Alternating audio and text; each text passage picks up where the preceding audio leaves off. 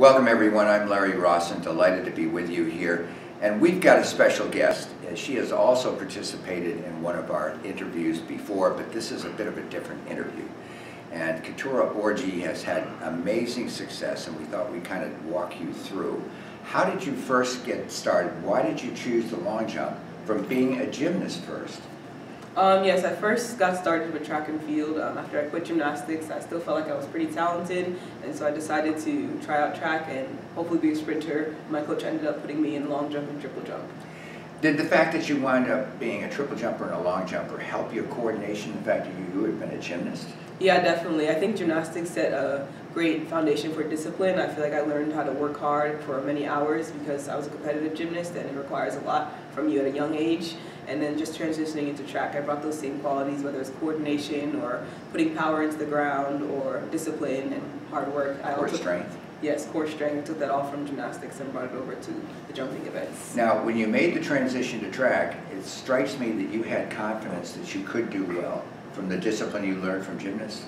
Um, I had more confidence from elementary school when I raced boys. I thought I was pretty fast. and so my confidence kind of came from like, oh, if I can race some boys, I'm, I'm sure I'm pretty fast. And you realize there are boys walking around, you know, near your neighborhood where you grew up that, that are lacking in confidence right now because you kicked their tail? Maybe so. I didn't mean to though. No, I understand that. but you gave them a lesson in humility at a good age, and that's probably a good thing. Once you got involved in track and field, did the confidence grow as you saw yourself improving? What happened there? Yeah, the confidence grew as I um, learned more about the event. So I started out in um, sophomore year trying it out, and I did pretty well, just basic um, not knowing much about it. And then my coach kind of taught me more and more about the event, and I learned a lot of different um, qualities. Um, You're talking triple and long? I'm talking mostly triple jump okay. right now, and that's when I kind of saw my progression come, and I got involved with Project Triple Jump. Tell me about that. What was that experience like? Yeah, so Project Triple Jump was pretty much me um, going to NSAF helping you with this. Yes, project. NSAF um, would like send me to an, another group of triple jumpers also to different locations, and we get to work with different people that helped me learn more about the event. They kind of had us write down um, what we're what we're working on, what we're eating, things like that. Just keeping us disciplined and focused, and kind of promoting the event because a lot of people want to go to different events in track and field because they're more popular. But kind of promoting triple jump and what you can do with that. Now you started participating internationally at some point, didn't you? Us. Yes.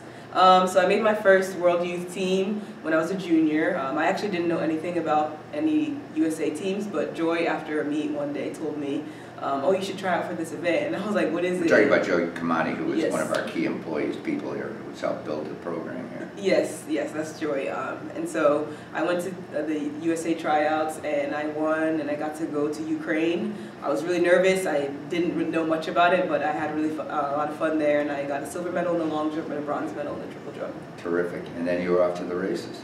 Yes. The program really helped you a lot.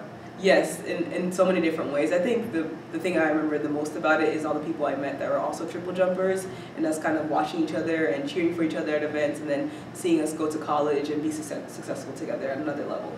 You've had a great career. You've done wonders, and, and we're delighted to have been able to participate in some small way in the success you've had because you've become a great star and you're a great credit to the sport of track and field, and academically, you are a killer.